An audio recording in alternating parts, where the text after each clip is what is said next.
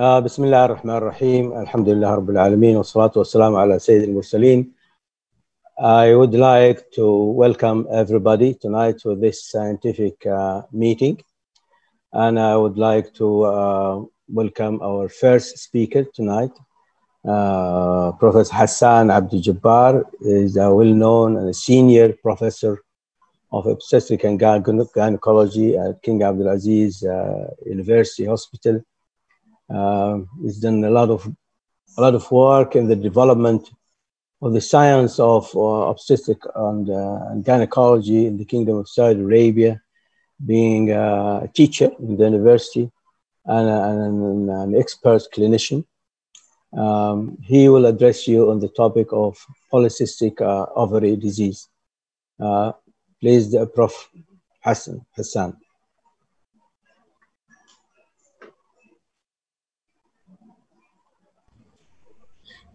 بسم الله والحمد لله والصلاة والسلام على رسول الله. أولا أشكر اللجنة المنظمة على هذا المؤتمر. وإن شاء الله تكون سهرة ممتعة سهرة علمية ممتعة. وأشكر جميع السوسايتي اللي مشتركة معنا في هذا المؤتمر. و بصفتي رئيس الجمعية السعودية لأمراض النساء والولادة تقدم للجميع بالشكر جميع السبيكر واختياري لهذا الموضوع. حنتكلم عن polycystic ovarian syndrome polycystic ovarian syndrome. And uh, I usually put this picture. بسم الله والحمد لله والصلاة والسلام على رسول الله. أشكر اللجنة المنظمة على اختياري لهذا الموضوع الموضوع المهم جدا في الواقع اللي هو polycystic ovarian syndrome حنتكلم عن الدايجنوزز ويمكن شوية كمان عن المانجمنت uh, the new management and what, what we should do with those patients. I always put this, this slide uh, just to remind people that uh, how bad the girl would look like if she had a, if she had hirsutism, and how bad for us to see an ovary which is enlarged, and how bad by ultrasound you see multiple follicles. And if you have all these three, you would know that you are dealing with uh, uh, a disease. This disease was described first by uh, Stein-Leventhal syndrome, Stein and Leventhal syndrome. Erwin Stein and Michael Leventhal, they put a triad of diseases, which is amenorrhea, obesity, and hirsutism من عام 1935, 1935. And the, it is one of the most common endocrinological disorder in women in reproductive uh, it used to be 2 to 8 percent, but now with the advance in making the diagnosis, the, uh, the disease is much more than 8 percent. Rotterdam criteria, they said uh, two out of the three, you will end by making the diagnosis. And there is no single criteria sufficient for clinical diagnosis. But if you have anovulation, if you have polycystic ovary in ultrasound, and if you have uh, an element of hyperandrogenism, you know that you are dealing with uh, something called polycystic ovary. It's very difficult to diagnose. Uh, usually, we diagnose it, or the patient would come to us because of a few things. Number one is infertility, and we see them all the time in infertility. She might have a major problem with her period, but she never seeks uh, medical advice. But when she, when it comes to infertility, she wanted to have a baby. She would come and ask why I didn't get pregnant. Excessive hair growth, and this is a major problem for young young age. You know now, uh, beauty is important. People they do surgery for beauty, and they uh, do Botox and fillers and if I imagine somebody who has a hair growth in her beard, uh, this is what what make her come to the to, to the hospital. Abnormal and irregular vaginal bleeding is one of the commonest uh, presentation. Of course, obesity and acne, this is becoming very extensive because we have a major a major issue and maybe the endocrinologists they know that we have a lot of uh, obese patients and we know that uh, uh, a major uh, treatment whether medical or surgical been addressed to, to, to obesity to reduce the obesity especially in uh, this part of the world uh, hair loss very extensive hair loss sometimes make people they come Yani you imagine if you have a, an 18 or 19 year old girl with uh, hair like this, she would not accept her face. She would not accept her her herself in the mirror. She, the people around her, they would not accept her. Uh, infertility, as I mentioned, is one of the most common uh, presenting factors. And look at the acne. The people they present with acne, overweight, uh, a little bit of hair loss and irregular vaginal bleeding. By ultrasound, uh, and this is an important, normal ovary can show you some follicles, one or two, three follicles, but that doesn't mean this patient have polycystic ovarian disease. But when you come to the ultrasound with multiple follicles, and in the criteria, they say you have to have at least 12 follicles to call it uh, uh, polycystic. And usually it's uh, surrounded ovary, surround the ovary. It's uh, it's uh, outside the ovary, uh, in the in the in the outside, not inside the ovary. Usually they are look like the same. They are the same in in, in, in size and um, important to not to not to confused between a normal ovary and a polycystic ovary by ultrasound. We have a genetic predisposition to this to this uh, disease. Aging, pregnancy, drug lifestyle is very important uh, in making the. It has insulin resistance. It's hyperinsulinemia. It alters steroid hormone metabolism. Uh, it can alter even uh, fat metabolism, increase the lipid uh, and android hormones. Insulin resistance has uh, repeatedly increased in the last decade, and this is maybe a pediatric endocrinologist started to do more tests earlier than, than before uh, uh, than than than than the metformin can restore menses in 50% to 60% of patients with BCO. Oral contraceptive have been shown to be superior to metformin for regular menses. And there is no study to demonstrate the superiority of one contraceptive over the other. All of them the same. Not only oral contraceptive, even uh, uh, the patches, the vaginal ring. Once you are you have hormone to suppress the ovary, you are uh, targeting the, the your your uh, your mission.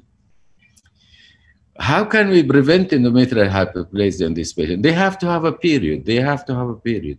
The problem is sometimes people they don't want to take contraceptives, and they don't have a period, and then they have high estrogen level in their body, and there is no period, no progesterone. You have to give them one of the progesterone derivatives uh, uh, containing, uh, which contain the same as containing contraceptives if they don't want to take contraceptive. Sometime in elderly age group, maybe we put uh, Mirena, which is uh, an IUCD containing progesterone to give them an element of progesterone that will prevent endometrial hyperplasia. Patient comfort and preference should be accounted and you should discuss the patient with the patient what she wants to have. Hirsutism, which is an important for young age group, we said, uh, of course, for age group, but the, in the young age group, they come immediately once they have uh, hirsutism uh, trouble them. And hyperandrogenism manifestation of BCO require at least six months of treatment. You cannot give her the medication in which you expect her to have a, no hirsutism after one week or two weeks, at least six months. And in Cochrane study review, the most effective line of treatment again is oral contraceptives. Spironolactone in a dose of 25 to 100 milligram daily can, uh, can help uh, in conjunction with oral contraceptive. There is a lot of medications uh, now in the market to decrease androgen, but these are the most common uh, used by the, by the uh, gynecologist. Other therapies, uh, including electrolysis and laser and intense pulse light therapy, all these can help to remove this, the hair and give them a better, uh, a better uh, uh, picture. Acne, uh, the acne usually seen by the dermatologist, but sometimes people they come, they say, go to the, your gynecologist to see the hormone. And when you come to is in general population and in patient with BCO, definitely is more common in patient with BCO. Hormonal contraceptive is the first line of treatment. The second line of treatment is the topical, which can be used by the dermatology. Monotherapy is important in those patients, especially uh, if you are using uh, one of those antibiotic or retinoid cream or whatever uh, cream they are using. Anti-android like spironolactone is the most common added line of treatment for patients with uh, hirsutism uh, for acne. Uh, we come to uh, what, what is the problem with BCO in pregnancy? It can cause uh, spontaneous abortion. Although they are get, they get pregnant, but sometimes they have higher incidence of maybe because of BMI, maybe because of PCO. Impaired glucose, uh, gestational diabetes during pregnancy, sometimes they develop even hypertension, and sometimes they have a small uh, gestational age. Infertility, when you're talking about infertility, it's a follicular uh, antrum impaired selection of dominant and the risk of multiple pregnancy is very high. Although they might have an infertility, when suddenly you treat them, you might end by multiple pregnancy.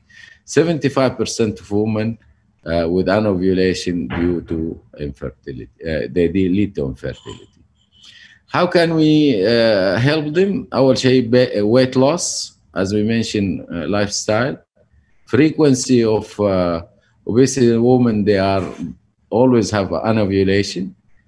Uh, six month weight loss program for uh, overweight uh, make them ovulate. Uh, uh, and in, in, a lot of study, they say if, even if they lose five to 10 kilos gram, uh, that will improve their, their fertility. 90% resume ovulation and 85% become pregnant. So just weight loss can be helpful for this patient. Uh, if BMI is elevated, uh, loss of at least 5% of the body weight, ovulation induction with clomiphene citrate or insulin sensitizer as a single agent.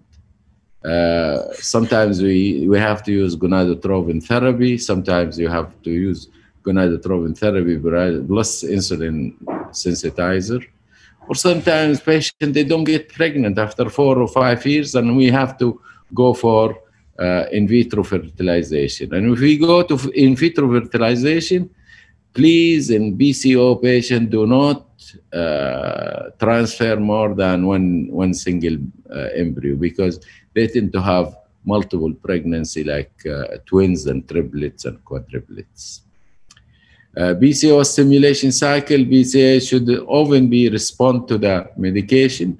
If they don't respond the medication to Clomid, you add FSH. They have high risk of uh, multiple pregnancy. They have higher risk of high ovarian hyperstimulation. And this is why we usually uh, end by uh, single or maximum two embryo in patient with BCO.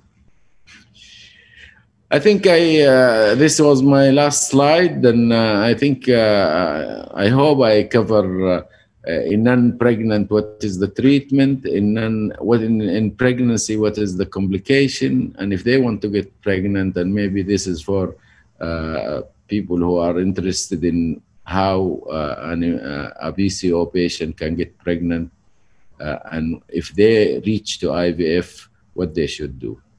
Thank you very much, Jama'ana. If you have any question, I'm, I'm ready to answer, if now or later, as uh, you recommend? Thank you, Professor Hassan. Uh, that was really uh, a, very, uh, um, let's say, uh, you've shown us the, the experience or your experience through um, years of, of uh, management of such patients. Uh, thank you very much for being with us. I'm sure uh, we'll have a lot of questions for you. Uh, I don't know whether to, this will be uh, at the moment or later on after uh, the other speakers uh, finish their their lectures.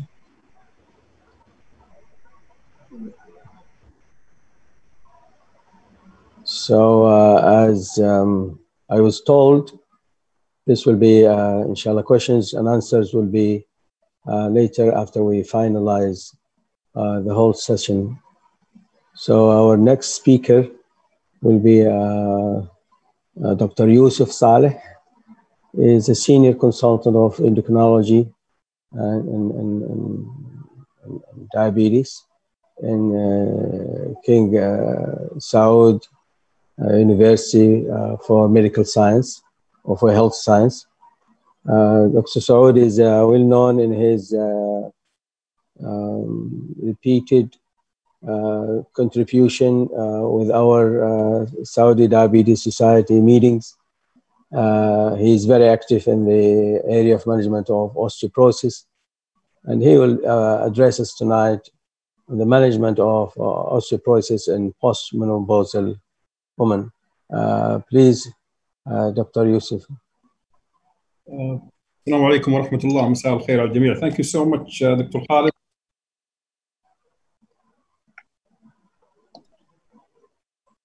Thank you very much, uh, Dr. For the introduction. And I do thank the Saudi Society for Diabetes for the invitation. And uh, really, this is exciting uh, program that we are uh, uh, attending these days with uh, VEDOC 20. Congratulations for the success. So my the outline of my presentation, just a few words about FRAX, treatment options, and then a summary of recommendations. We'll follow the American Association of Clinical Endocrinologists guidelines published recently in 2020 uh, since I'm also chairing the Gulf chapter of the of American Association of Clinical Endocrinologists. So fragility fractures are so common, and it will happen in one in th- three women and, one in five men over the age of 50 years. Um, one fracture um, in the world at the moment is occurring every three seconds, and they affect the quality of life by loss of functional uh, dependence, loss of uh, uh, mobility and increase in mortality. And they are also very costly to the healthcare system. If somebody develop a fracture, and whether males or females, the solid line represent males and the dotted line represent females. So if they have a fracture, they will continue the risk to be uh, higher and higher with years to develop more fractures unless they are treated. Now, what is the epidemiology in the kingdom? Um, many studies have been published, uh, whether in the central region with uh, uh, Allah uh, Professor Mahmoud al-Dasuqi, who was the first to publish the first study of uh, um, the prevalence of osteoporosis in Saudi Arabia using um, single photon absorptiometry. And then he um, did more studies in women uh, with uh, DEXA scanning, there is a group in the eastern part of the kingdom, and then the group of uh, our colleague and friend and mentor, Professor Saleh Muhammad Saleh Ardawi in the western region, who published probably the largest study on the prevalence of osteoporosis in the kingdom. This is a systematic review um, that uh, concluded that uh, the prevalence overall is 34% in women aged 50 to, to 80 years. And this is based on seven studies in females uh, number exceeding 5,000 subjects, and the prevalence is 30.7% in men, and this is based on three studies in males. Now, these figures are probably uh, an estimate of the lump of these studies, while if you come to some individual studies, like the Professor Ardawi paper published uh, some years ago and uh, covering the uh, Jeddah area on 1,700 subjects, the prevalence was 46% in postmenopausal women, which is quite common. Another uh, publication looking at the cost of osteoporosis in the kingdom, 30 billion is the total annual cost. And the majority of this cost is because of hospitalization, 18.6 billions. And the rest is because of outpatient and nursing care. And this is again by Professor Ardawi in 2008. Now, for years, we did not have a solid system um, that we depend on as endocrinologists and specialists in bone disorders that we try to pick up high risk patients and treat them. And our colleagues in cardiology, for example, they enjoy the many of the scoring systems, whether Framingham uh, or whatever scoring system in diff- different countries, different societies, where you look at risk factors, you look at hypertension, diabetes, family history of premature coronary artery disease, lipid, smoking, and then you try to come up with a risk calculator and to decide who are the patient that you need to go aggressively with statins and antihypertensives and so on. So we're dependent only on the T-score. Um, so DEXA scanning, anybody with a T-score of minus 2.5 or more is labeled as osteoporosis and treated immediately with uh, anti-resorptive or anabolic agent. And this is not correct because many of these patients, they are low risk patients. Uh, so till um, the WHO uh, came up with the lead of uh, Professor John Kanis with the FRAX, the fracture risk assessment. And briefly, this is a, a, a calculator that is based on uh, nine risk factors. And uh, every country is called to develop its own FRAX based on the prevalence of the of hip fractures in particular, and other fractures as secondary fractures, and the cost of treatment in each country. So in the Middle East, if you go to FRAX, fracture risk assessment, you just write FRAX in Google, or you enter uh, Sheffield University, where Professor Kanis used to be based, and you find the FRAX uh, risk assessment. Now it's available also in an application. You can download it on your mobile and do FRAX on your patients in the clinic. So in the Middle East, we have these countries who developed their own FRAX. Lately, Abu Dhabi, and I'm saying Abu Dhabi, not the other parts of the Emirates, because they depended, they were dependent on um, insurance data in Abu Dhabi, and they came up with Abu Dhabi FRAX. Iran, Jordan, Kuwait, Lebanon. Lebanon was the first in the area to come up with with the FRAX system. Morocco, Palestine, and Tunisia. Palestine, they adopted the Jordanian uh, data. And I would like to announce that um, in the kingdom, we are uh, doing the FRAX project. And I just want to share with you the appearance of the data that we collected over two years in different regions in Riyadh, Mecca, Juf, Tabuk, Dammam, Najran, Hayil, Al-Baha, and Jazan. Uh, so this is uh, the, some of the data that we got. We got. And this is a collaborative work between the Ministry of Health, the Saudi Osteoporosis Society, and um, a generous support from Eli Lilly, uh, independent grant from them, uh, where we collected data on hip fractures in various regions of the kingdom. And hopefully, in the couple of months, we will have the Saudi FRAX, inshallah. Now, in looking at FRAX cut limits in various regions, probably it doesn't matter what we use. So we don't have Saudi FRAX, you just use a surrogate country. And I think the most uh, close to the kingdom is that of Abu Dhabi and Kuwait. Kuwait data are more solid. They depend on three years data collection of hip fractures in Kuwait. Um, and the cut limit for ma- treatment of major osteoporotic fracture or hip fracture is pretty the same between Abu Dhabi, Jordan, Kuwait, and Lebanon. Morocco and Tunisia, they have much lower rates of fractures and their readings are lower. So this is the latest guidelines on osteoporosis. The American Association of Clinical Endocrinologists published this year and I call for you to have a look on them. Very nicely written with grades and level of evidence. And the uh, most important question that we always say, uh, face as specialists in when to treat patients with uh, with uh, for osteoporosis. So anybody, uh, and this is a disputed point. So in ACE, they said anybody with T-score minus 2.5 in the elbow, femoral neck, total proximal fiber, or one-third radius. And the problem of applying this in the kingdom is that we don't have our own reference range for normal BMD. So we are inserting in the DEXA scans, the softwares, various uh, data, like we're using mostly the NHANES uh, softwares. So we are comparing a densitometry of our patients to that of Americans. And probably we know that we definitely we are different from Americans from this point of view of the size of the bone and strength of bone. And uh, comparing us to the Americans is just unsafe um, or unfair. Uh, there are some DEXA scans like what we use in National Guard. We brought the Lebanese software and we are using that in our hospital, considering that probably we are closer to Lebanese than the Americans. Um, so I, I, think we have to be very cautious in adopting this recommendation in the kingdom and always run FRAX for your patient. Low trauma fracture, regardless of a bone density. So if somebody with osteopenia and fracture a bone, fill a small trauma um, measured as a fall from standing height, then this is osteoporosis. Treat that patient and you don't need to have osteoporosis on the scan. If the patient is osteopenic, you do FRAX system. Uh, so uh, osteopenic and the fracture, this is again uh, osteoporosis. And if somebody is osteopenic and high frax reading, then that patient deserves to be treated. So I would say three major recommendations uh, that we need to follow to try to select our patients.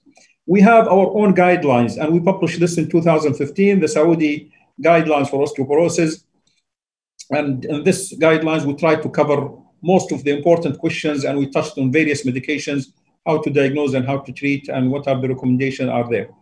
Uh, every patient with osteoporosis needs to have um, check for vitamin D as one of the major tests that you need to do. So the basic labs are uh, vitamin D, calcium phosphate, probably TSH, and if there is any uh, suspicion, uh, a test for malabsorption, on, and 24-hour urine calcium to rule out hypercalciuria, which can be uh, present in a small percentage of patients. Uh, vitamin D, um, preferably, this is the ACE recommendation, 75 nanomole is the target or the preferred level in patients with osteoporosis, 30 nanograms. So if you want to convert from nanogram to nanomole, you multiply by 2.5. Um, supplementation, they recommend in the Americans 1,000 to 2,000. We think, based on studies done by Professor Daghri and our group, and the um, the chair for chronic biomarkers of chronic disease in King Saud University in Riyadh, that we need a higher dose than this to maintain our D level um, uh, in the range of 75. Higher doses may be necessary in certain patients, like obese, malabsorption patient, and transplant and certain ethnicities. Definitely, we fill into that certain ethnicities.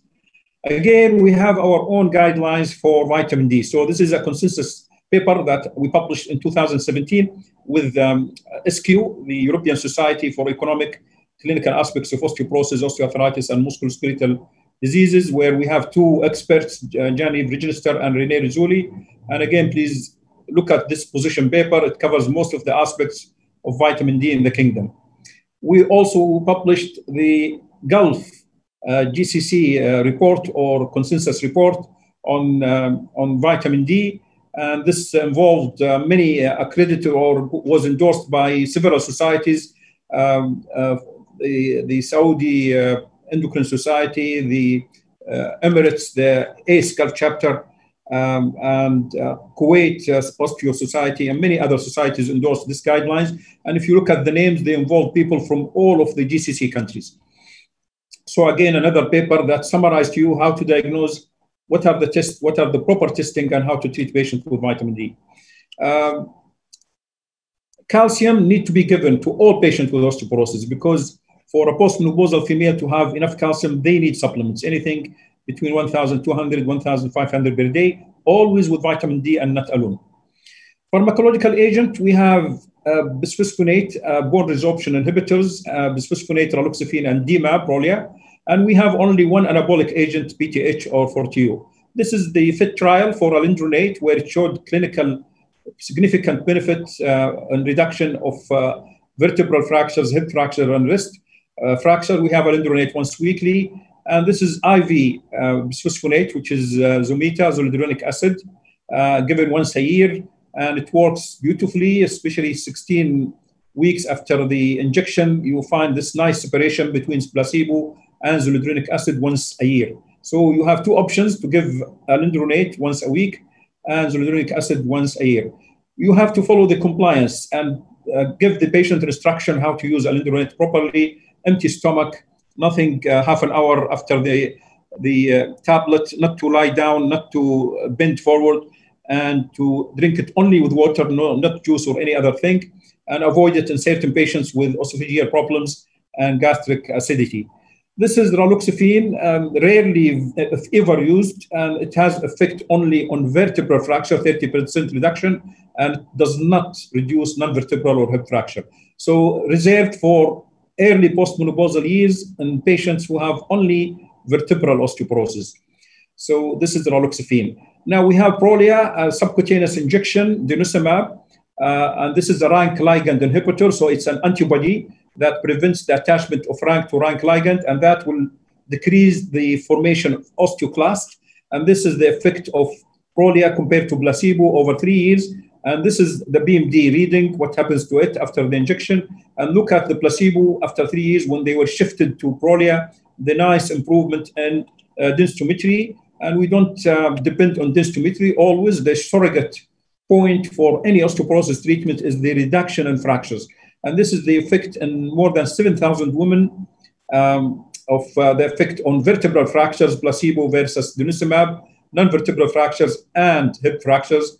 And again, all of them were statistically significantly reduced with uh, Prolia. And we have um, studied this medication, uh, studies on this medication for 10 years now, uh, which showed effect, and this is up to six years, but there are data on 10 years it showed continuous improvement of bone mineral density over 10 years of therapy.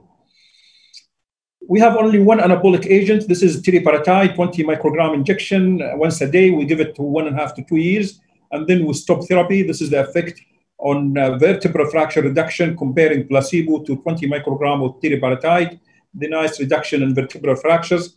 We, the study was not powered enough to look at hip fractures, but if you look at non-vertebral fractures collectively, just touching significance.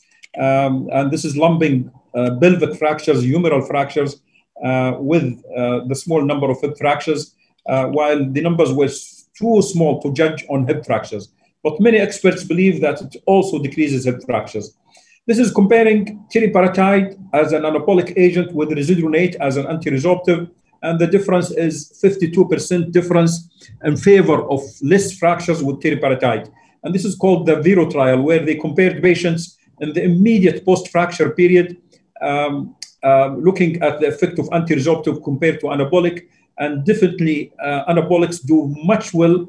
This is the effect on the cumulative incidence of clinical fractures altogether. Um, but if you look again at non-vertebral fractures, which include hips, um, risedronate is much higher fracture refracturing compared to teriparatide. Um, we have another anabolic agent, not yet in the market, romosozumab, and this is uh, an agent uh, which is anti-sclerostin. If you prevent sclerostin uh, from working, then you increase the formation of uh, osteoblast and uh, you get anabolic effect. So these are the patients with placebo uh, compared to romosozumab, the reduction in vertebral fractures. And if you look here on the um, the other side. So these patients, placebo compared to romosozumab, and then uh, the 12 month, another 12 month of treatment where these patients were shifted to denosumab. So this is placebo plus denosumab, and this is romosozumab followed by denosumab. And you can see the significant difference between the two groups. Marked reduction of fracture rate uh, if you start with anabolic and then continue with anti-resorptive in the form of denosumab. So when to use anabolic? A patient with at very high fracture risk, and this includes patients with recent fracture. So somebody who had a bad fracture, a hip bad hip fracture within the past six, 12 months, probably starting with anabolic is not a bad idea. Fracture while on approved osteoporosis therapy, you give patient alendronate and they come back with a fracture, shift immediately to anabolic. Those with multiple fractures, you do a lateral X-ray, which I recommend to every patient with osteoporosis must have a lateral X-ray or if you have vertebral fracture assessment software on the DEXA machine, then order it, order lateral spine assessment where you can look at vertebral fractures, which can be silent. And I'm saying it's a must because some patients, they have a mild degree of, of, of osteoporosis and you, you do FRAX and the FRAX readings are low and you say, I will not treat this patient, even with a T-score of minus 2.7. Then you do a lateral X-ray spine and you find one or two or more vertebral collapses then this is definitely a treatment um, recommended for such patient. So if somebody on steroid and fracture, then this is a patient that needs anabolic. Very low two scales, my, two score, minus three, minus 3.5, minus four. Probably getting a patient on anabolic for one and a half years is uh, not um, um, a bad idea. And this is, by the way, the recommendation of ACE, the American Association of Clinical Endocrinologists. Um, those with very high fracture probability. So you do FRAX on your patient, you put the risk factors, you put the age, the height, and you press calculate. You, put the T-score if you have them. And if you have a major osteoporotic fracture rate above 30%, hip fracture above 4.5, then um, uh, higher than these, higher than these readings. So these patients, they need to be anabolic. And uh, we're saying anabolic first because uh, you build up the bones. If you start an anti-resorptive first, and then you try to add an anabolic after you stop anti-resorptive, then the effect is reduced. Uh, so the best way in high-risk patients start with anabolic for one and a half, two years, and then shift to anti-resorptive. How long uh, should be treated? For bisphosphonate, oral bisphosphonate, five years. And this is based on the fracture long-term extension trial with, uh, with alendronate, where it showed that you get reduction only in clinical vertebral fractures. So those patients who come to the ER with back pain you don't get reduction on of, of hip fracture, pelvic fractures, humeral fractures, and vertebral fractures, uh, silent vertebral fractures. And that's why after five years, you stop and you assess your patient. Uh, IV zoledronic acid, three doses. So three years, and then you stop treatment. Teriparatide uh, or raloxifene may be used if you try to stop. Dr. Saleh, uh, we're a bit short of time, so if you can make it Okay, just a few minutes, Dr. Khalid. I'm, I'm, I'm the last few slides. Thank you, thank you. Um, so teriparatide, if you start to, to, to, if the patient is high risk patient, uh, then you carry on with treatment. If you elect to stop, you can give another anti-resorptive or anabolic.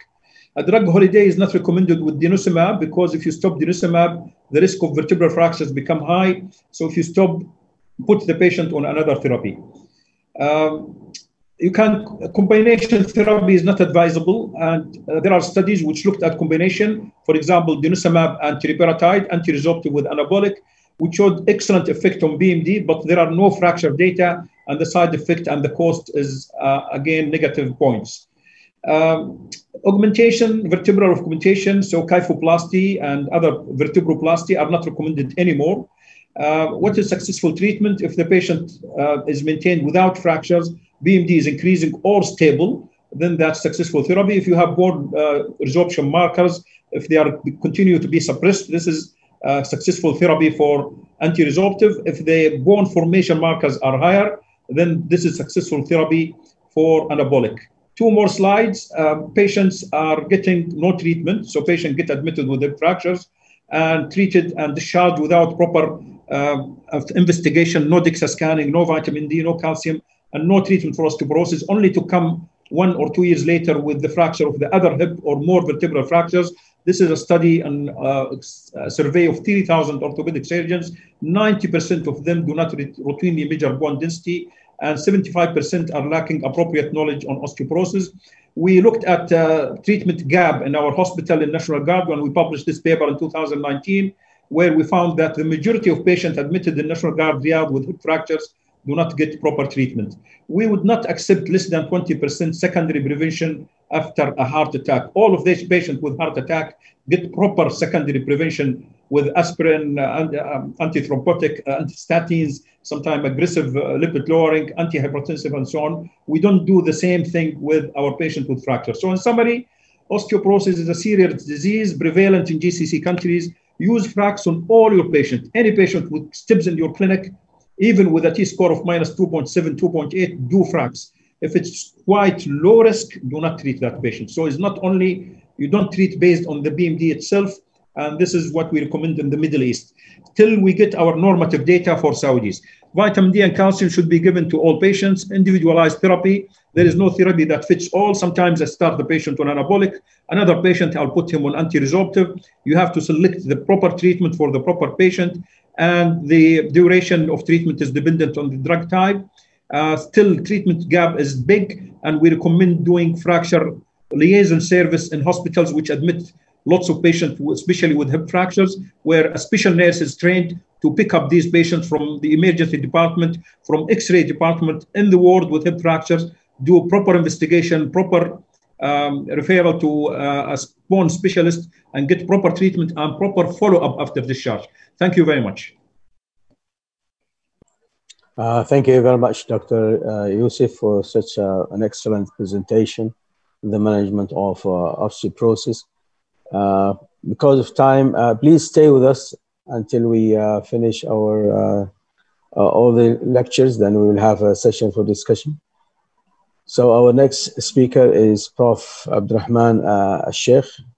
He is the chairman of the Scientific Saudi Diabetes Society. He's a full professor of uh, internal medicine and, uh, and endocrinology in King Abdulaziz University uh, Hospital. He is probably one of the most active physicians now in the area of management of, of diabetes and uh, endocrine disease. We're pleased to have him with us tonight.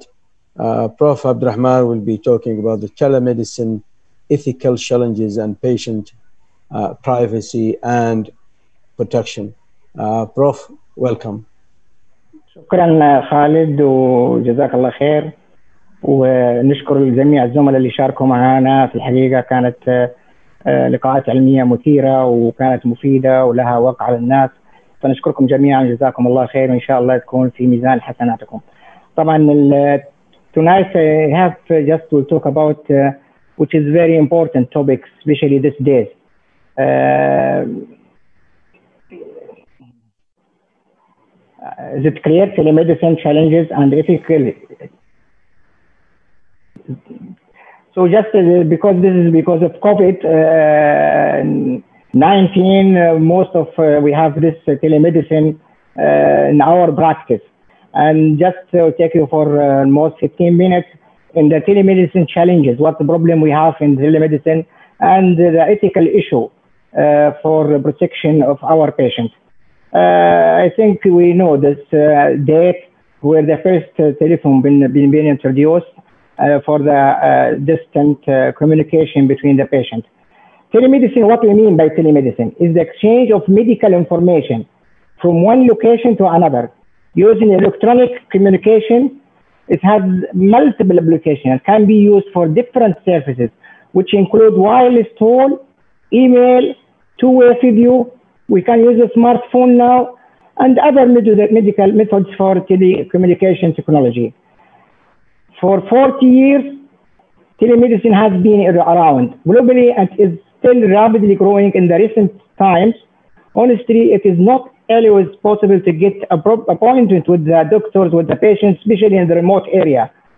So the solution, it is the telemedicine. We used it in pandemic as we are what we are using now for our patients, following our patients.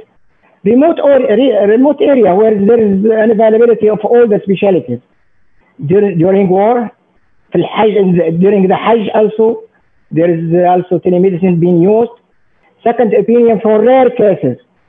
Academic purpose to be discussed cases as academic uh, between the institutions, also use the telemedicine easy communication and follow-up between patients and their physicians, especially in chronic cases, chronic diseases, especially the, like diabetes, hypertension, following the reading of diabetes, and between the patient and their doctors, and also uh, radiological reporting. Not because the, now not all the hospital having the radiologist or self, uh, like the MRI readings uh, or taking second second opinion of the radiology for reporting. So there is many uses for telemedicine. There is top five reasons to consider telemedicine. Better access and uh, reach to your physician, physician, cost effective, convenience, especially in, during these days, and millennial demand, millennial demand, and reduce the absence, absence, uh, absence of the patient. You can follow the patient, especially when they are not uh, willing to come to the hospital. It's improve access to care and easy for the people with disability, improve access for the adults uh, to follow them, especially in the geographically isolated who are not able to come to the hospital. Preventive care, easier to access and preventive care, especially cardiovascular diseases, diabetes, to prevent the complication of diabetes. slowing the spreading of the infection, especially these days. Patients with COVID uh, diseases or contact with COVID patients, not necessarily to come to the hospital, or those patients who's uh, likely or their immunity is not good, not necessary to come to the hospital, so we can use the, the telemedicine. Convenience and uh, lower cost. Even the cost is lower than the patient coming to the hospital. Benefit for the health uh, provider, especially the hospital, is less exposure to the illness infection, as I mentioned in the uh, patient with the COVID, and also reduce the overloaded in the hospital or over and the expense in the hospital. Patient satisfaction because he know that his doctor following him anytime, and also additional uh, revenue stream can be used, and this is also uh, clinician may find that telemedicine supplements their income because might increase their income because if they follow the patient in regular basis. Disadvantage for patients, protection medical, طبعا hackers, the problems of the hackers not only the medical, it's they are criminal and may able to access patient medical data, especially if those patient access telemedicine on public network or via uh, an unsecured, unsecured channel. Uh, care delayed, some of the patients might, might have some illness which need to be seen or to come to the hospital, especially the ischemic uh, cardiovascular disease like chest pain, and he's just depend on the telemedicine, not coming to the hospital to have the treatment like coronary angiography or coronary surgery. So sometimes there is a care delayed, and the patient might come after times to see his doctor. There is this advantage for health provider, technical concern. Not all the hospital has the technical or the good internet or good, good uh, facility to have good uh, telecommunication and inability to examine the patient. Some of the patients need to be examined. As I face these days, some of the patients, they will tell you that he has goiter. Goiter, sometimes you need to palpate the goiter. It is not necessary to, to see by picture that he has swelling. The palpation of the swelling is very important in the examination. So sometimes it's very um, unable to examine or to decide what the patient has, what types of the tumor. So there is many barriers to telemedicine. It is uh, malpractice, um, up to 60%, reimbursement up to 43%, technical problems, and this is what we face, uh, especially with the internet. Privacy, there is a problem, especially between the hacker and uh, among the patients also not sure the diagnosis by the telemedicine. We are not definitely sure, especially in certain diseases. Many physicians don't offer telemedicine. Maybe the patient doesn't like the telemedicine or he has no practice in telemedicine, concerned about the insurance. And even now, the insurance company all agreed for the telemedicine and they cover the cost for telemedicine. And the privacy, another issue.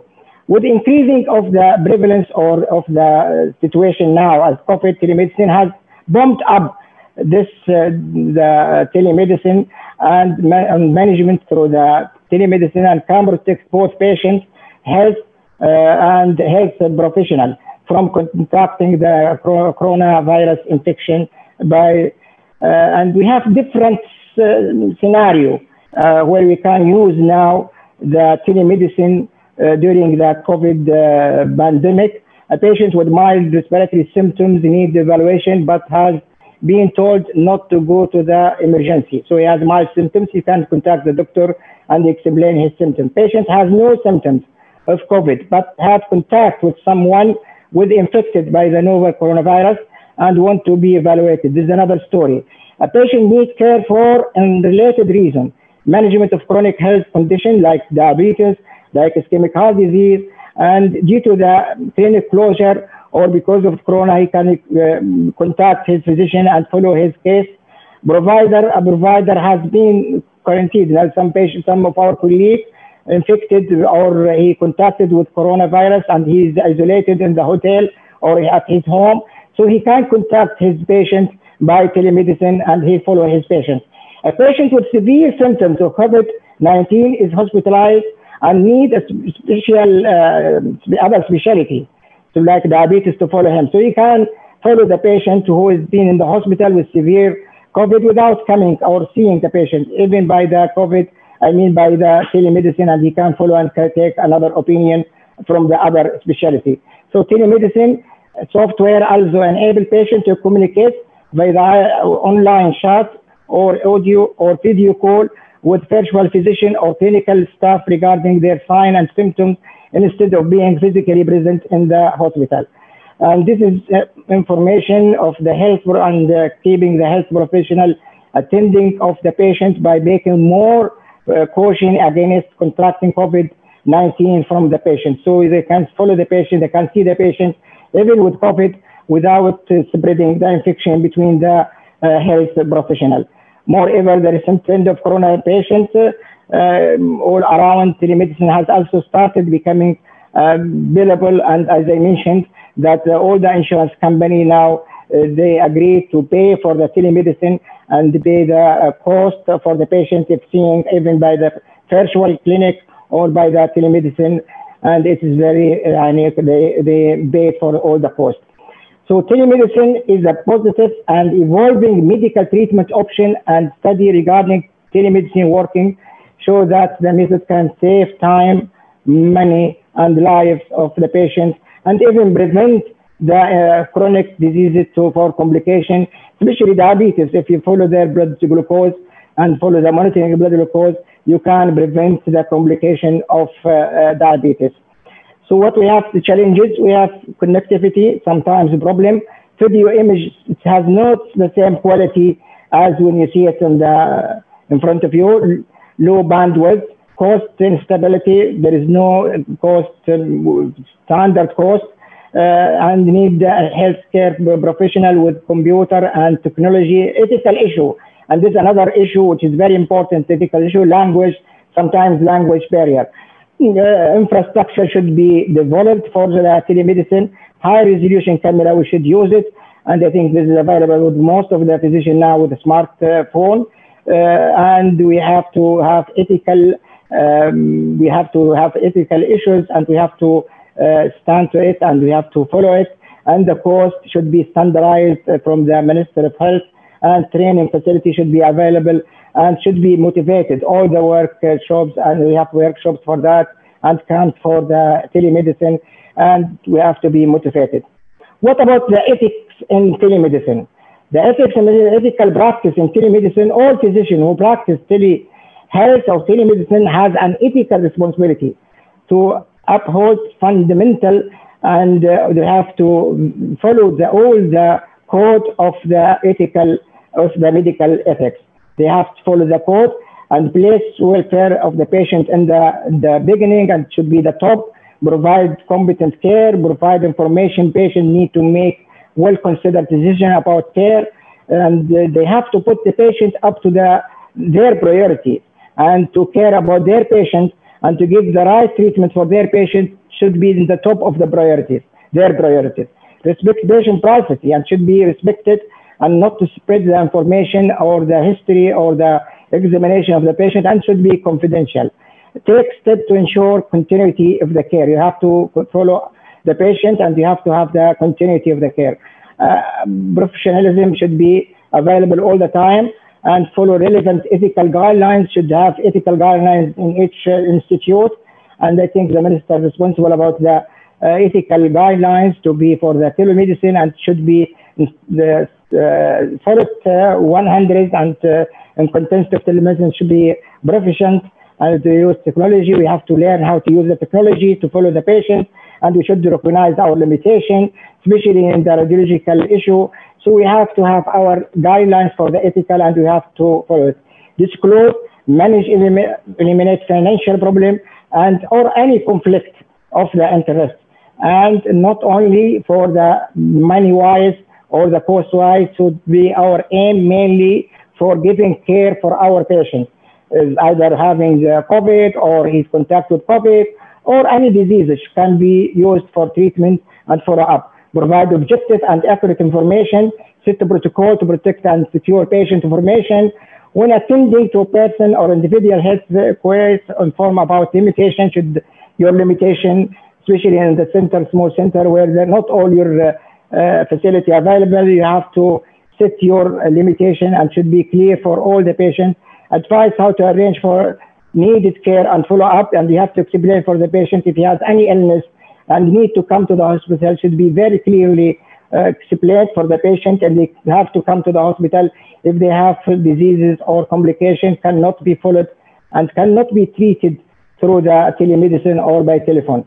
Consider how information can be preserved and access for future follow-up care should uh, for follow-up as, as what we have in our uh, files and documentation in the hospital through the professional organization and institution support the technology and develop implement standard for safety at care and should be secured from the hackers not to take any information of the patient and routinely monitor telemedicine landscape and identify address uh, consequences and identify the disseminate outcome positive or negative what the positive from the telemedicine what's the negative and we have to improve the negative issue to have good telemedicine and i think telemedicine is not will be continue not only during this pandemic i think it will be continue and for even for the other diseases like the chronic diseases diabetes and chronic uh, illness hypertension or chronic heart disease. At this uh, point, I will thanks all of you and thanks for your uh, uh, attention and thanks for all of our colleagues. And I think it's telemedicine now. It's very important for us to follow our patients and to feel easy that we have our patients between our hands and we can follow them any anytime and even them they can follow us anytime. Thanks for Dr. Khalid. Thanks for all of our colleagues. Uh, thank you, Professor Abdurrahman, uh, for enlightening the importance of telemedicine, which is, I think, is uh, is a crucial now, uh, especially nowadays.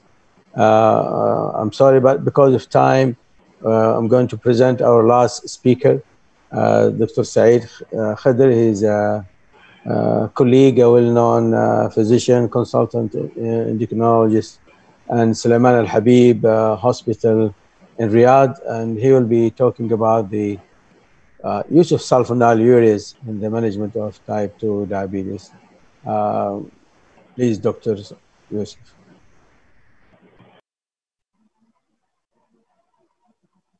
Dr. Saeed? Okay. Dr. Saeed? Just, yeah,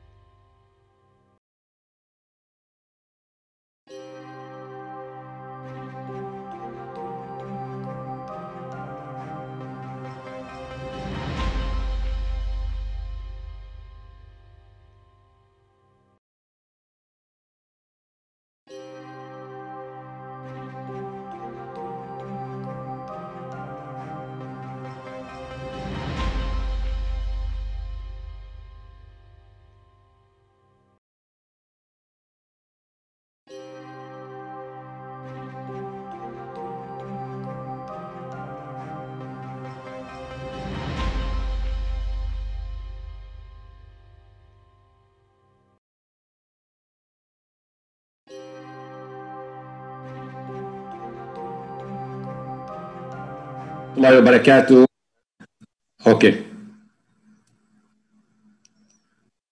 Assalamu alaikum wa rahmatullahi wa barakatuh. First, I would like to thank the organizer for inviting me to give this virtual lecture, and I would like to thank Dr. Khalid, the chairman, and my colleague, the previous speakers who gave an excellent lectures. Certainly, my job now is difficult. I'm the last speaker to defend the poor oral hypoglycemic agent, the very old one, sulfonylurea, in management of type 2 diabetes. I mean, certainly when we choose the drug, we have to understand the pathophysiology of diabetes. And um, Dr. Khalid, Dr. Uh, uh, Abdurrahman, and Dr. Yusuf will agree with me that sulfonylurea is one of the old medication that we've been used. And I remember probably 30 years ago, there was nothing about it from glibenclamide and metformin and insulin at that time. Was, I used the pork insulin and beef insulin. But now we understand that diabetes is not just a beta cell uh, problem, but certainly still there is a place for sulfonylurea in spite we have too many medication these days. And I can bet anybody to say that I don't use sulfonylurea. All of us, any diabetologist, most of the healthcare provider who treat type 2 diabetes, he is using sulfonylurea and still the most prescribed oral hypoglycemic agent anywhere in the world is sulfonylurea. It is fantastic to understand the pathophysiology of diabetes, and I agree totally that now the guidelines insist that we have to individualize patients who have atherosclerosis cardiovascular disease, for example, to be on metformin and then choose those with GLP-1 receptor agonist or SGLT2 inhibitor, etc., which is very important because of the benefit the cardiovascular outcome trial. But in spite of this medication, still we are not reaching the target. Not only this, nobody speak about sulfonylurea in spite that sulfonylurea been used for a long time and it's in all the studies, the biggest studies that they use the new anti-hyperglycemia, they still use sulfonylurea and they didn't remove it from the big studies. And this is the pancreas here, the, just to remind you with the beta cell, alpha cell, etc. And sulfonylurea is not just one drug. Each drug is different in the structure and the mechanism of action. And if you look here, that the gliclazide is different from the glibenclamide, different from glipizide, different from glipiride regarding the structure.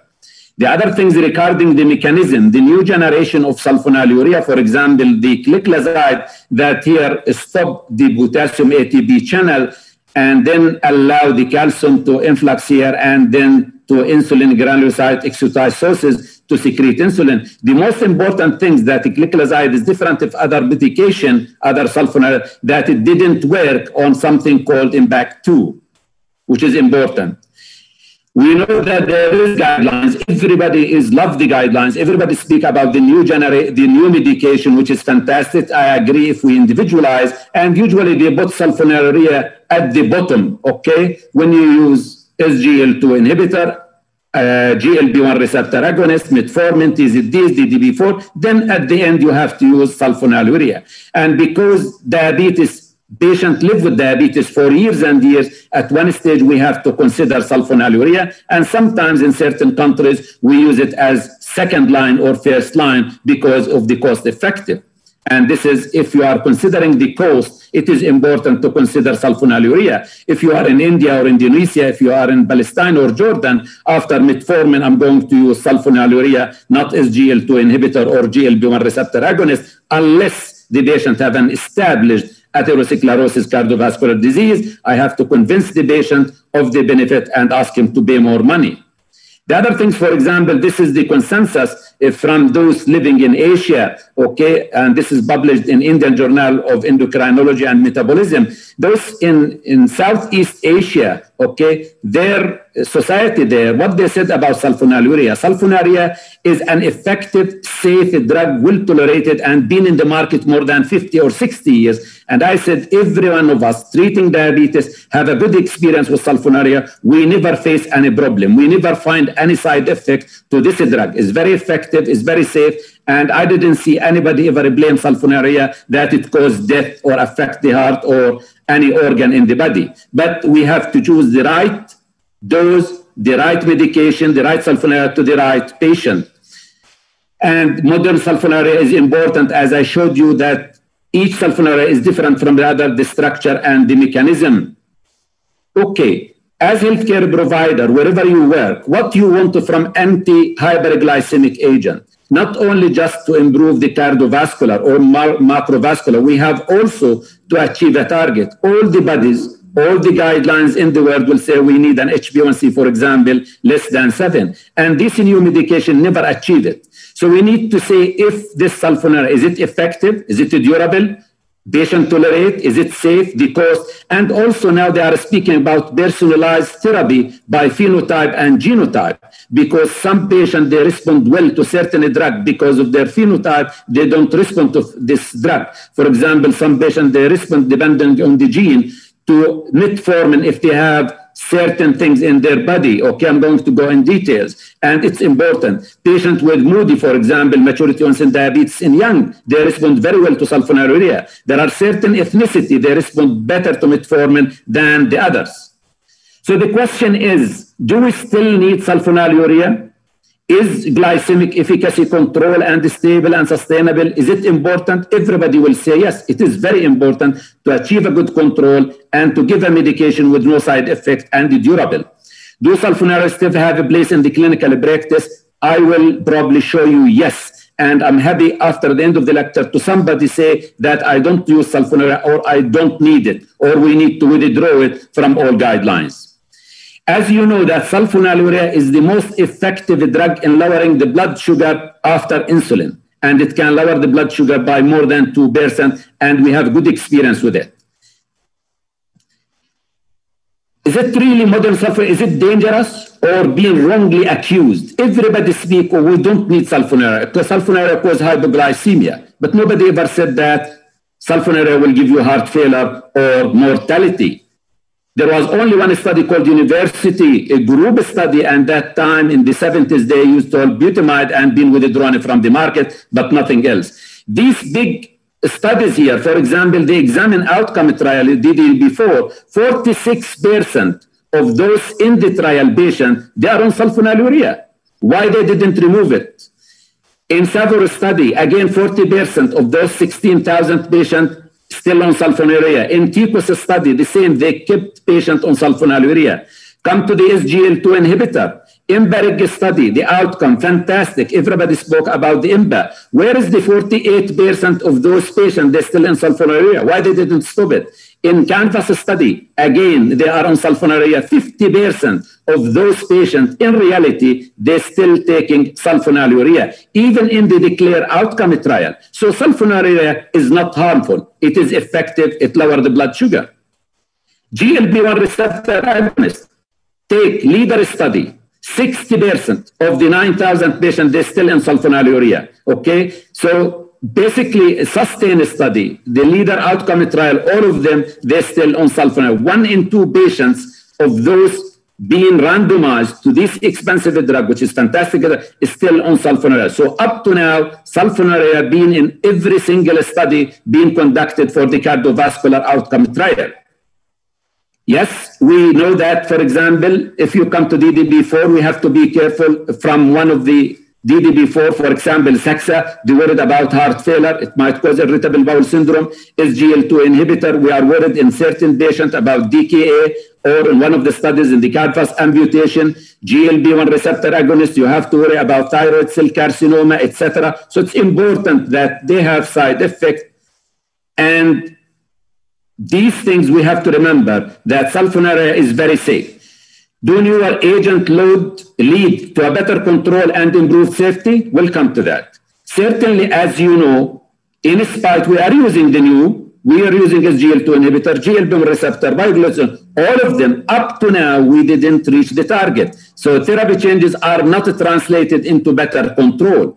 Come next, what about all these studies, the randomized controlled study, the big studies? The only one study, the advanced study that reflect the reality of the patient that we see in a clinical practice. The others, they just design it to suit certain patients, a lot of exclusion. Only advanced 35% real patient that we see in our clinical practice. So certainly the, as we said here, that insulin and sulfonylurea is the more effective drug as effective and lowering fasting, both postprandial, and HbA1c. Is it? Is there any study to defend that? And of you will always refer, we always refer to UKBDS study. Every single lecturer, wherever you go, anywhere in the world, UKBDS study. And this is about the metabolic memory, okay, the, uh, the metabolic memory or the legacy. In 1997, they presented the study, and that at that time, in newly diagnosed type 2 diabetes, being treated by metformin and glibenclamide and insulin, nothing else, and they have benefit at least in the microvascular complication and probably non-statistically significant, even decrease in myocardial infarction. After 10 years, after 30 years, those patients being in sulfonylurea, they still have benefit and no side effect. Any reduction in HbA1c, if we didn't achieve it by using the new medication, certainly any reduction will help in decreasing microvascular complication.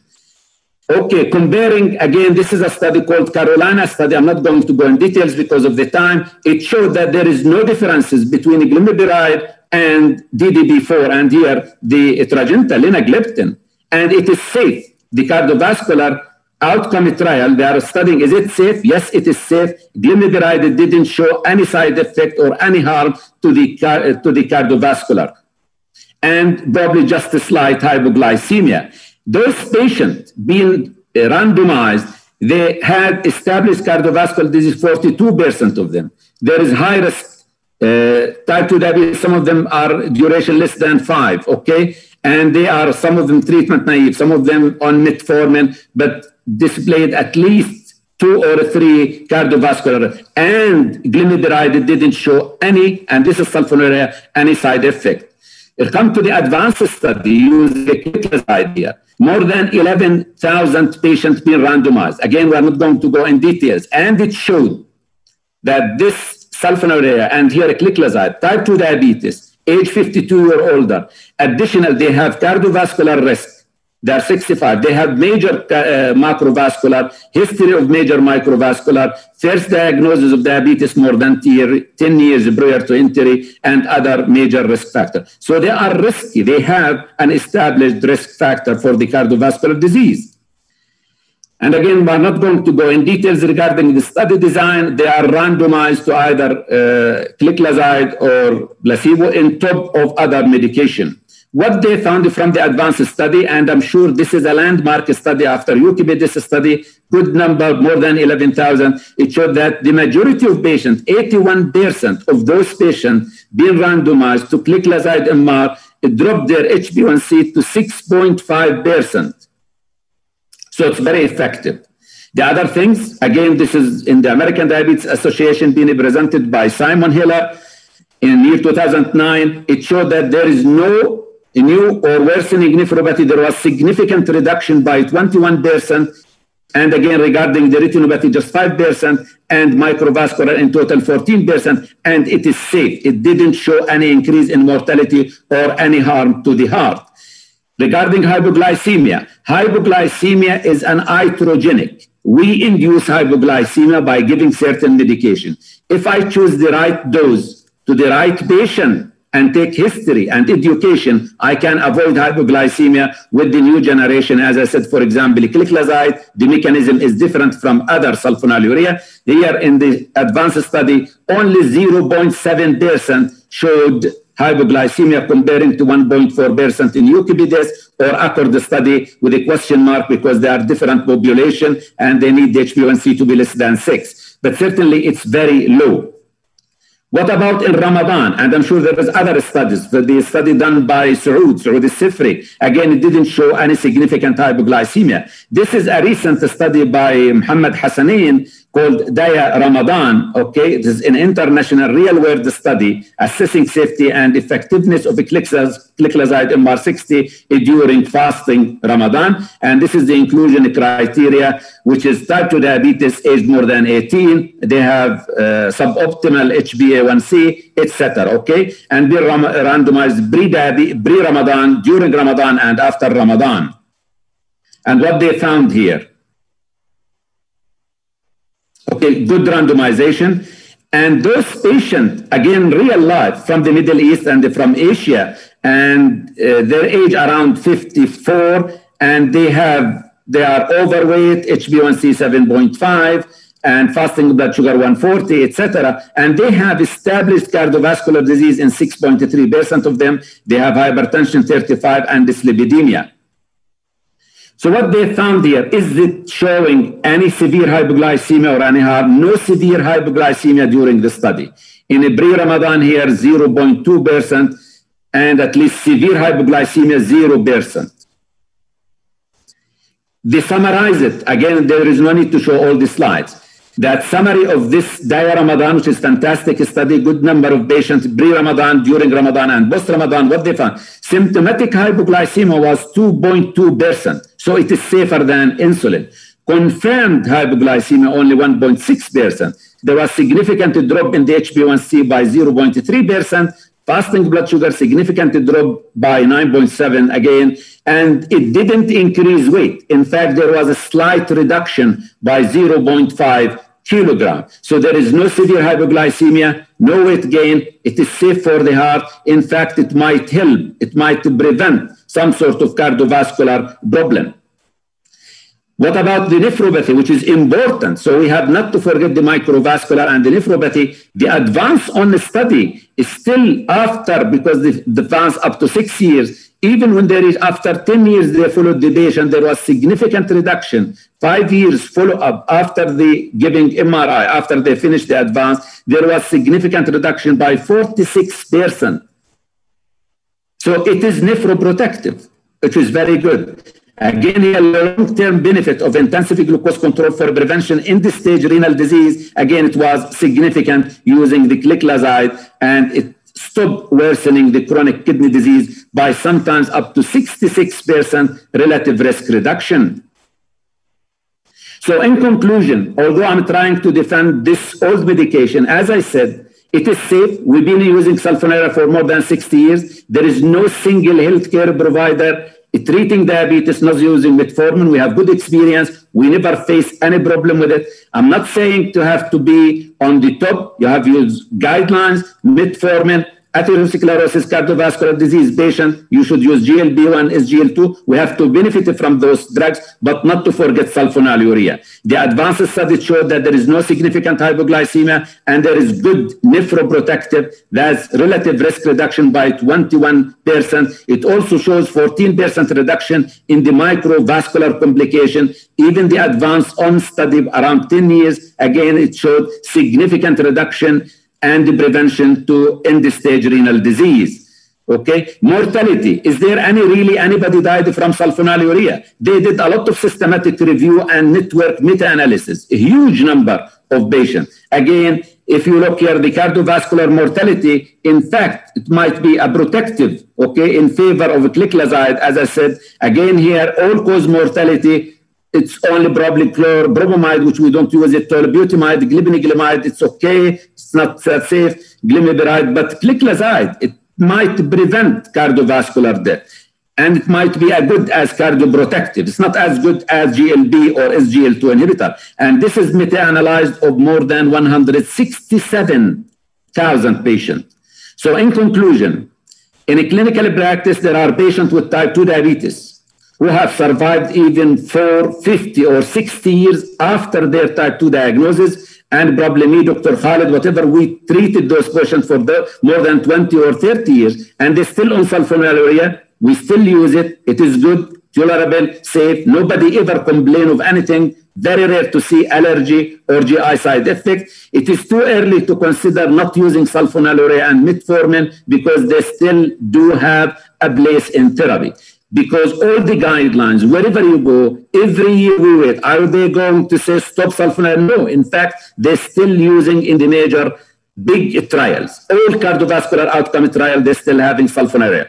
These drugs are perhaps the only ones affordable by the majority of patients in developing countries. We should not, we have money here. You have money in Europe or in the States. But even in, in UK, you cannot use SGL2 inhibitor to everybody or GLP-1 receptor agonist because it is it, it, it is expensive. We still use sulfonylurea.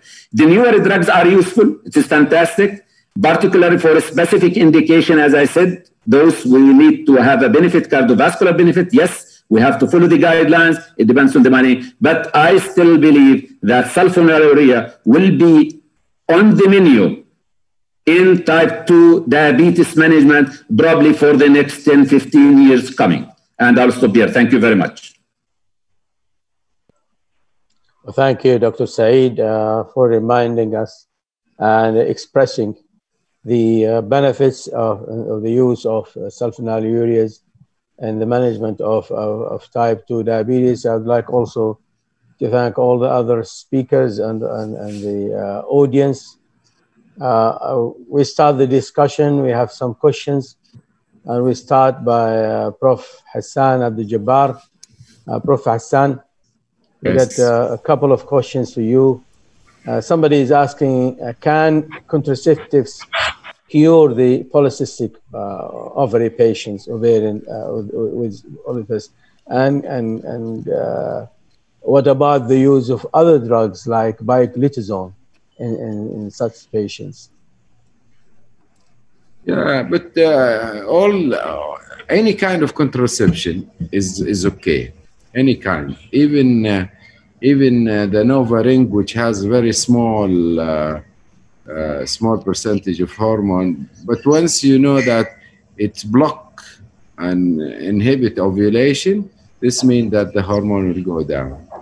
Unfortunately, uh, uh, the other medication, the only only progesterone, for example, it has different action, not only induction, ovulation suppression. So it might not be as useful as uh, oral contraceptives.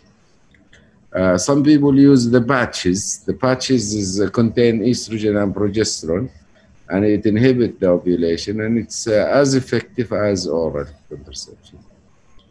Uh, what is the medication you mentioned? Yeah, well, well somebody was, was saying that uh, these patients could be managed by pioglitazone or sometimes even by metformin. So, what, what do you think yes, about the, uh, all the studies showed that uh, metformin alone uh, can uh, resume uh, the regularity of the period and making the, the ovary uh, work nicely in only 40 to 50 percent of the time. But it's, it's good and effective with the contraception. Both together, they can uh, can do the job. Yeah, and obviously these drugs will be working on the insulin sensitivity in these in, in these patients. Yeah. So they, they cannot be used alone. So we have we alone. have to, no, they cannot be used alone. Yeah. Yes. Well, thank you very much, uh, Prof. You're. Um, Dr. Yusuf, I got a question for you. The uh, uh, prolonged usage of metformin or insulin injection can lead patients to, to osteoporosis. Can this lead to osteoporosis? The prolonged use of metformin or insulin? Actually, um, it's not it's not the medications, but diabetes by itself is a risk factor for osteoporosis. This has been shown by many studies where the high blood sugar, uh, as you know, the formation of advanced glycation end products, and these um, glycation end products, they, they affect the bone tissue. And uh, for years, we know that uh, patients uh, with diabetes are at more risk of fracture. And in fact, in the uh, uh, the, the IOF uh, and WHO and the subsequent FRAX versions, they are going to incorporate diabetes as one of the risk factors, risk factors that are put in the FRAX score system. So what, what some experts recommend, like David Kendler, our colleague from and friend from Canada, is um, uh, to when you have diabetes, you click on rheumatoid arthritis in the in the in the FRAX software. So you have the risk factor written, and there is rheumatoid arthritis. Uh, we, diabetes is not there anymore, but click yes on rheumatoid arthritis. Uh, and this is just to uh, have something as close as a risk for, for, uh, for fractures as uh, diabetes. So definitely diabetes by itself predisposed to fracture and osteoporosis and not the medication. If anything, insulin is an anabolic agent. So probably it will uh, build up tissues and maybe bone um, but will not cause osteoporosis. And metformin, I'm not aware about any reports that metformin causes osteoporosis. We know pioglitazone and the glitazones in general, they, they increase the risk of fractures in postmenopausal women. And that's why postmenopausal women with osteoporosis should not receive pioglitazone uh, or uh, rosiglitazone. Rosiglitazone not, not available anymore, but at least pioglitazone is contraindicated in postmenopausal women with low density. Thank you. Uh, got another question for you. Do you consider the lowest or the total lumbar score? Which one you? Uh, no, there are some reports which tell you that uh, L4, for example, is osteoporotic, and that's No. not appropriate. You should consider L1 to L4 score, not an individual uh, vertebral score. So score. Okay. at this point, we try to emphasize to radiologists and nuclear medicine who reads uh, DEXA scanning that please do not report on individual vertebrae. You report on, on the whole vertebral uh, bodies, lumbar vertebral bodies. Okay. Uh, maybe there's one other question. Uh, do you advise to use the lateral lumbar T score for patient with osteoporosis or osteophytes? And how we assess accuracy of the score of lateral view, especially with regard to outlining the vertebral bodies? No, so please let, let me clarify this very well. I did not say lateral X-ray view for scanning. I said lateral X-ray of lateral X-ray spine, regular X-ray to look at fractures, vertebral collapses. Uh, many patients they have silent fractures. You don't you don't pick them up. They don't feel pain, and you do uh, lateral X-ray spine to to pick up these what we call the morphometric vertebral fractures. Um, but uh, but scanning is done on the AV view on the DEXA scan the machine, not the lateral. There are some machines which has a software that allows you to look at the lateral spine X-ray, so you don't need to send the patient to the X-ray department to have lateral X-ray spine. It's called vertebral fracture assessment. So it gives you the morphology of the spine in the DEXA machine.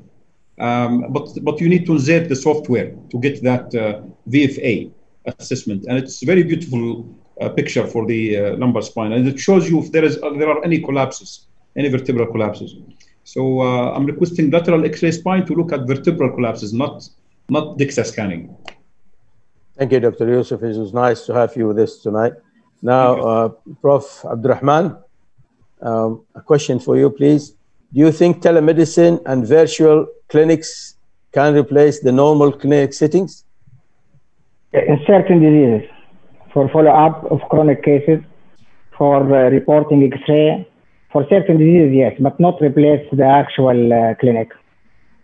And uh, has been reported in one study that the cardiac disease is getting less in the hospital in one of the Europe country, but the death increase at home of cardiac due to the cardiac diseases because of fear from the COVID not coming to the hospital. But uh, but actually, uh, it is very helpful, especially as I mentioned in pandemic and uh, following the cases, especially chronic cases. But it will never replace the actual clinic. So, how about clinical examination? How could be? How can we? This is one of the uh, fault of the. You cannot, especially uh, when I now I face some of the patients they tell they have swelling in my neck. What I can do, yani swelling in, my, in your neck, it's different because you have to palpate. So this will not replace. There is there is I saw some uh, some technical things where you can listen even to the there is certain stethoscope which being recognized by the FDA. They put it in the chest. You can listen. You can hear the uh, breathing sound, and you can uh, put it in the heart. You hear the uh, murmur if there is murmur. But palpation, I think, still you need to palpate the patient. Uh, not like in the American and Canada style. For any patient, they send for neck swelling, go for X-ray, for ultrasound. For but I think uh, still examination and palpate the patient for certain uh, telemedicine is very beneficial for following the cases where you know your case, or in, like now what we have in COVID, where the patient with COVID or with symptoms suggestive of COVID, not necessarily to go to the spread his infection in the hospital, or those patients with chronic illness, not to come and get infection from the hospital, you can follow them. But you cannot take it as a, for, for uh, forever replacing the, but I think it will continue for certain diseases. Yani after pandemic, the, the telemedicine, it will continue. And I think telemedicine is not only used for this time, it's been used for long, used for long time, especially for reporting the X-ray especially in remote area. Now the ophthalmology, they can follow the cases from Ar'ar. They just picture the retina and send it to any highly specialized doctor in big cities. And uh, following our diabetic patients, we used to follow our diabetic patients uh, by email, the result, or by the WhatsApp. So it's, we have we, we have this telemedicine for a long time. It will continue, but it will not replace the actual clinic. No, I, I, I definitely uh, agree with you, uh, but maybe we don't know what future will come up. Maybe in the yeah, maybe they have a stethoscope, something to palpate, and uh, there is Microsoft where yeah. you can feel the palpation. And I saw that ultrasound can be done. Uh, ultrasound can be done at the remote area, and you can. And now there is the STC. They got um, certain equipment where they can have it, uh, send it to the patient. They can uh, take picture, X-ray, and send it by uh, to the doctor, the ECG and yeah. ECG, and listen yeah. to that. So all this, it's very, it's very expensive, by the way. This yeah. the STC now they introduce it might be available in our country in uh, months. Uh, it will be, but this you have to have a certain hospital institution and to be given for the patient as a rent. those patients with uh, with uh, who's not able to follow their doctor in the hospital. But uh, I don't know. Really, in the future, maybe there is something which will be make our life easy and to replace the palpation, but still the palpation and feeling the patient, and even the story, the history, history of the patient, which is very important part of the uh, reaching to the diagnosis. The history by telephone, by telemedicine is not same as the history. It is, you see that uh, what we are seeing now, I'm seeing patients by the telephone, by the virtual clinic, following them. But really, the history is not different. When you feel the patient in front of you, not same as when you feel just to call the patient and just uh, talking with them for their uh, their problems and uh, it's uh, definitely different but this is something which help us now to follow our patient in Hajj. They used it for Hajj. There is a report where they go and examine the patient as a doctor examine listen and they send it to the doctor where they can inter- interpret the ECG and the sound in the chest. And uh, it helps the people in the in the where you cannot have all the specialty in uh, this area. So it helps some patients, but I'm sure it's not replacing. Future wise, I don't know. Yeah, I think uh, that's all clear. Thank you very much, Professor. Uh, now, our colleague, Dr. Saeed. Uh, Dr. Saeed, again, we have a couple of questions for you. Uh, the first question somebody is asking uh, Can we combine sulfonylureas with GLP or SGLT2? Yes, sulfonylurea, you can combine it with all anti-hyperglycemic agent in the market. You can combine it even with insulin, but you have to be careful with the hypoglycemia. Probably you need to decrease the dose. As I said, the only side effect of sulfonylurea is, is hypoglycemia. It's iatrogenic. We induce it. It is called anti-hyperglycemia, oral hypoglycemic agent. If I give the right dose, the right sulfonylurea to the right patient, avoid giving to elderly, demented people, or they are taking other medication that interfere or enhance uh, the hypoglycemia, then it would be okay. You can use it with SGL2 inhibitor, GLP1 receptor agonist. In fact, all these big trials, the cardiovascular outcome trials, as I showed you very clear, 50% of those patients randomized to these expensive, fantastic drugs, they're still taking sulfonylurea. And the other question was uh, when to use it in, in, in, patients with type 2 diabetes. You can use sulfonylurea after metformin. If they couldn't tolerate metformin, you can use it as naive, in patient naive. I have no money. I have only few reals. You can buy sulfonylurea. Sulfonylurea, you can use it as monotherapy, which is fantastic, well tolerated, safe. Just educate the patient. Don't increase the dose. Give the right dose to the right patient. I keep saying this very important. I never worried about hypoglycemia in sulfonylurea when I myself when I give it the right dose. I start, for example, gliclazide, I might start 30 milligram, might start 120. Let me be right. I start one milligram. The patient may be sensitive because we don't know yet the phenotype and genotype. So we have to be careful, titrate it gradually, and you can use it after metformin, you can use it after GLP1 or SGL2 or DPP4 if you are not achieving the target. Well, thank you. I would like uh, now to thank all the uh, speakers, uh, Professor uh, Hassan, uh, Dr. Yusuf Saleh, uh, Professor Abdurrahman, and Dr. Saeed. thank you all thank you. for your time.